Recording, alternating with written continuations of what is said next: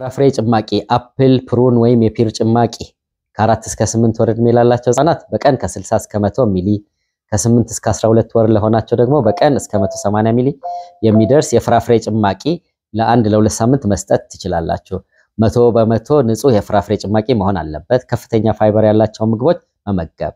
ህፃኑ ተጨማሪ ምግቦችን መመገብ ከጀመረ ከሩዝ የሚዘጋጁ የህፃናት ምግቦችን በገብስ በሚዘጋጁ የህፃናት ምግቦች መተካት። ስኳር ድንች፣ ገብስ፣ አጃ፣ ካሮት፣ አረንጓዴ ሰላጣ፣ ቆስጣ፣ pear፣ prune፣ ባቄላ፣ አተር፣ ብሮኮሊ ወይም ቆስጣ ከፍተኛ ፋይበር ያላቸው ምግቦች ናቸው። የፍራፍሬ ጭማቂ ከጥራጥሬ ወይም ከአትክልት ጋር መቀላቀል ትችላላችሁ።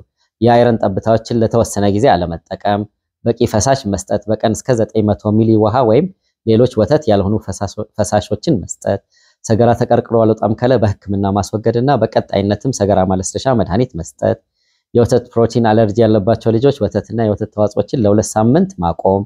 ጤናማ የመጸዳጃ ቤት ልማድን ማበረታታት። ልጃችሁ መጸዳጃ ቤት መጠቀም ከሰለጠነ በቀን አንድ ወይም ሁለት ጊዜ ከተመገበ በኋላ ለአስር ደቂቃ ያህል መጸዳጃ ቤት ላይ እንዲቀመጥ አበረታቱት።